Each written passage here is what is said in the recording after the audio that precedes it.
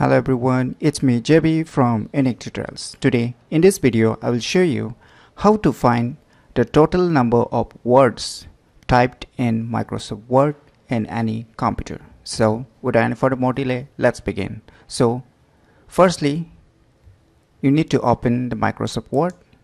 It may be the Microsoft Word 2007, Microsoft Word 2010, 13, whatever versions you have, it will work in all the Microsoft versions. So don't worry if you have different versions of Microsoft Word. Still the this tutorial will work on every Microsoft Word version. So you need to select the blank documents first. After that we'll just type some words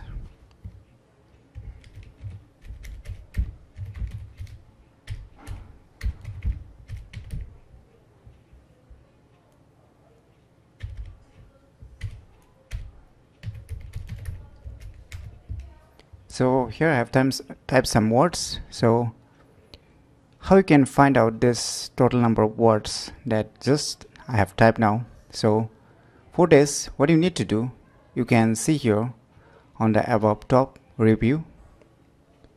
Just click on it.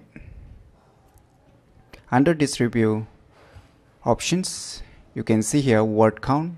Just click it now here you can see here total number of words. Here you can see it's five words. Let's just count. One two three four five. Here you can see the number of pages too number of characters paragraphs lines a lots of. So this is the first step you can see.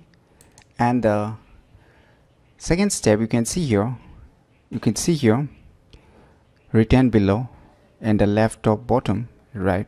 You can see here five words. So just double left click it then you will get the same window showing the number of words pages characters and so and so.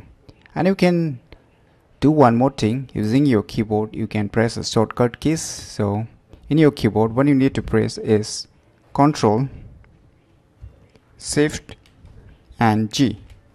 Then it will just pop or open up the word count and it will display directly total number of words, pages, characters, lines, paragraphs. So using this tree process, you can find out the total number of words that you have just typed in your Microsoft Word software. So sometimes what happens, you are in need of how many words are total there that you have just typed in your Microsoft Word and it will be very useful to find out directly without needing to count each one of the words by yourself then you can directly check on the below bottom bar or you can go to the review or you can use the keyboard shortcuts like control shift and G letter.